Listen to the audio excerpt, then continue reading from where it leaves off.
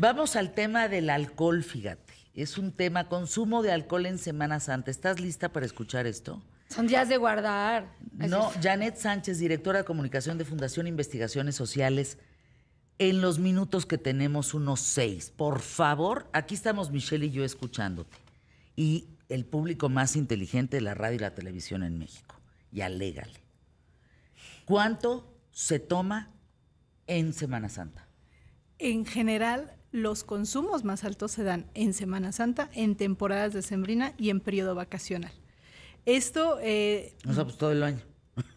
Son tres cuando no estamos haciendo nada. No, imagina, exacto. Es que también debería, es importante partir desde rapidísimo. Vengo a decirles que no somos borrachos. O sea, en México no somos borrachos. El problema es que tomamos mucho en pocas cantidades y nos los guardamos los fines de semana. Ese es el patrón de consumo más peligroso que hay.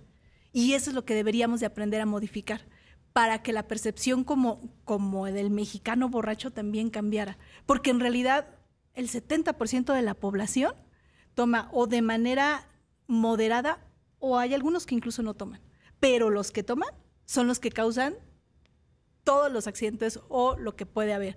Es una parte que debemos cuidar mucho, ese consumo excesivo y explosivo.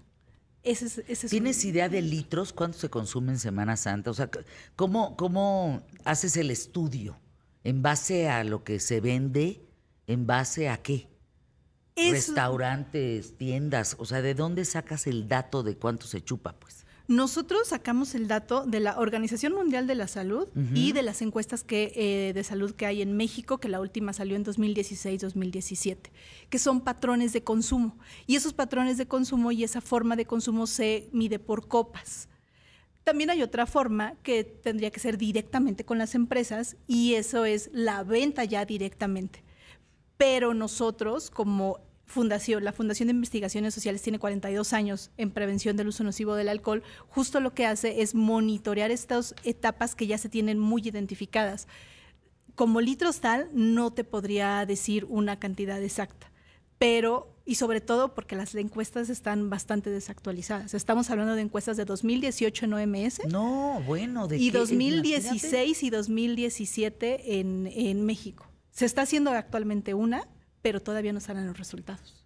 Entonces, ese es, esa es nuestra base. Y se ha modificado muchísimo. En el minuto que nos queda, Janet, eh, también esta imagen de mexicanos borrachos en el extranjero apagando flamas y eh, apagando las flamas de los soldados y demás, pues eso no nos ayuda. Pues eh, no, no nos ayuda. Sin embargo, creo que si, si me dices cómo te diría que podemos ayudar a la población es a identificar su botella, a que cuenten los tragos que toman, a que lo hagan con moderación y tomen tomen agua, coman, tomen alimentos, que recuerden justo el evitar conducir cuando han bebido. Eso es también fatal. Entre 15 y 20% también suben los incidentes de tránsito en, vacaciones. También hay que tener mucho cuidado.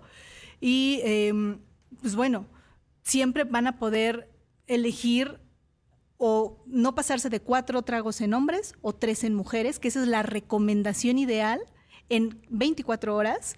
Las mujeres metabolizamos más lento el alcohol, también eso hay que saberlo y no se les olvide, por favor, porque no se trata de competir con los hombres, sino se trata de conocernos, conocer nuestro cuerpo y cómo podemos ayudar a que si deciden beber sea de una forma sana o lo más saludable y seguro posible. www alcoholinformate.org.mx.